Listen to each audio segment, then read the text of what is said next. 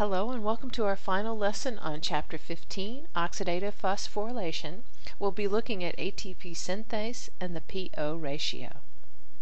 ATP synthase is also called the FOF1 ATP synthase. Notice this is FO, not F0. O because it's sensitive to oligomycin. This is the portion, the FO domain, that's actually embedded in the mitochondrial membrane. This is the portion of the protein that actually translocates protons from the intermembrane space to the matrix side. The F1 domain is the portion that kind of looks like a lollipop, and that's where we're actually going to make ATP. As mentioned in the last lesson, it's sometimes called complex 5 because it's so tightly coupled to electron transport, and of course our last component in that chain is complex 4. It was Ephraim Racker who first purified and identified the function of the F1 domain. It was John Walker who shared the Nobel Prize in Chemistry in 1997 through his work in helping to solve the ATP synthase structure. And here's a more detailed representation of that structure here. So here's our mitochondrial membrane. Here's the P side where we're accumulating protons, and we're going to translocate those back into the matrix, the N side. Here's our FO cylinder. As you can see, it's composed of multiple C subunits, identical. In this case, there are 10, though it does depend on the species and the nature of the ATP synthase as far as how many C subunits it contains. It's this portion that rotates, as illustrated here. One proton per C subunit, and as it translocates that proton, it rotates. As you can see in the black arrow here, it rotates in the counterclockwise direction. So this is the portion of the structure that's rotating. Here's our F1 portion, as you can see, composed of a trimer of dimers, that is alpha beta, alpha beta, alpha beta subunits and the two are connected, that is FO and F1, through this central shaft pictured here in green. It's our gamma shaft. It's more directly connected to an epsilon subunit. The important thing to keep in mind here is that it's the FO portion that rotates. Because the gamma shaft is connected to those C cylinders, it rotates along with the C cylinders. However, the alpha beta subunits of F1 are fixed relative to the membrane because they're directly connected to these B subunits.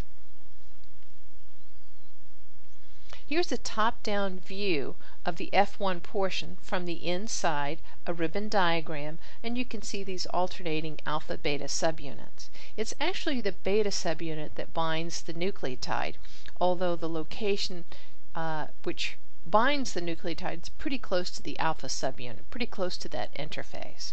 So here we have one beta subunit bound to ADP in yellow, a separate subunit, beta subunit bound to ATP, and one beta subunit that's empty. So clearly differing affinities for ADP and ATP, and yet these beta subunits are identical. Primary, secondary, and tertiary structure identical. The only thing that's different is their conformation, and that has to do with their connection to that central gamma shaft, and that's pictured here in this green helix. So how does this work? Well, it was Paul Boyer who shared that Nobel Prize in 1997 because of his elucidation of this mechanism.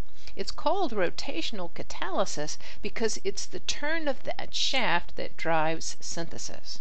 So remember, it's the FO cylinder embedded in the membrane that translocates those protons. As it does so, the cylinder turns, and along with it, that gamma shaft.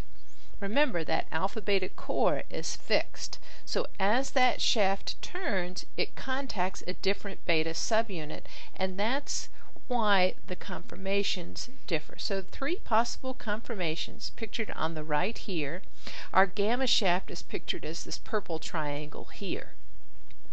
The, the subunit that it is directly contacting, it converts to the conformation O or open, where it has a low affinity for both ATP and ADP. Its differently connected to the other beta subunits. On one, it converts it to a tight conformation in which it's tightly bound to ATP. The other is in the L conformation in which it's loosely bound to the substrates. Let's see what happens as we translocate protons and rotate that gamma shaft counterclockwise. As you can see, it changes the beta subunit that was in the T conformation to an O conformation and it thereby releases ATP. The one that was in the L conformation changes to a T conformation and that's what catalyzes the synthesis of ATP. At the same time, it changes the conformation of the O beta subunit to L, in which case it has a high affinity for substrates. Let's turn that gamma shaft one more time, 120 degrees. Again, T becomes O and releases ATP.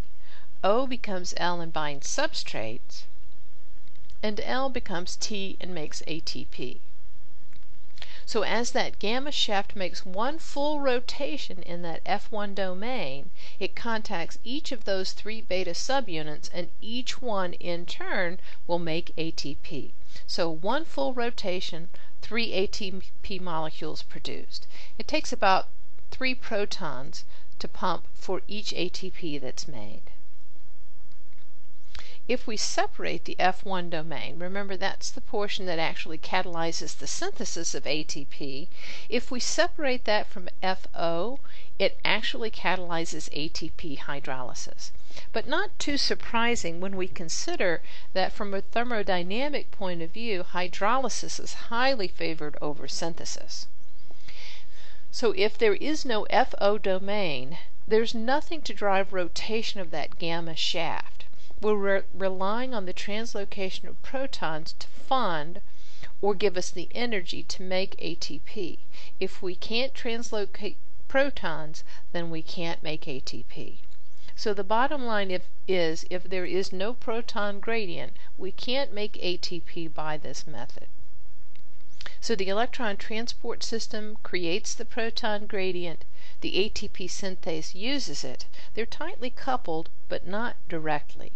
It's akin to what we saw in Chapter 9 in the case of secondary active transport. One transporter sets up the gradient, another one uses it. So in this case, the electron transport system sets up the proton gradient and the ATP synthase uses it. Well, how much ATP can we make in this way? This is referred to as the PO ratio. The P has to do with the number of phosphorylations of ADP to make ATP. And how does that relate to the number of oxygen molecules that got reduced? In other words, the number of electrons transferred. So if we start with NADH and we transfer those electrons through complex 1 down to our final component, down to our terminal acceptor, oxygen, in the process we move two electrons, we pump 10 protons, and we've half reduced our oxygen molecule. The mitochondrial ATP synthase has 8 C subunits in its FO domain, and remember, one proton is pumped or translocated through each of those C subunits. So one full rotation means eight protons pumped, and in that full rotation we've made three ATP molecules, or 2.7 protons for one ATP. So our PO ratio in that case is slightly more than 3. In other words, 10 protons pumped, and it takes 2.7 protons to make 1 ATP. So our PO ratio is 3.7. However, if we start with complex 2, we haven't used complex 1, and remember complex 2 does not pump protons, so we're essentially starting at QH2. In that case, then, we only pump 6 protons when we half reduce oxygen, so our PO ratio is reduced to 2.2. This is another good lesson on if we pump fewer protons, we get less energy, we make less ATP. You'll notice it's never a whole integer, and that's because we pump an even number of protons, but we make an odd number of ATPs. The actual PO ratio in the cell is slightly less than this because some of the proton gradient is dissipated by other processes. This concludes our studies on Chapter 15, Oxidative Phosphorylation. Our next chapter, Chapter 16, deals with the subject of photosynthesis, and in our first video lesson for Chapter 16, we'll look first at the organelle within which photosynthesis takes place. We'll also look at some of the types of molecules that are involved in capturing sunlight.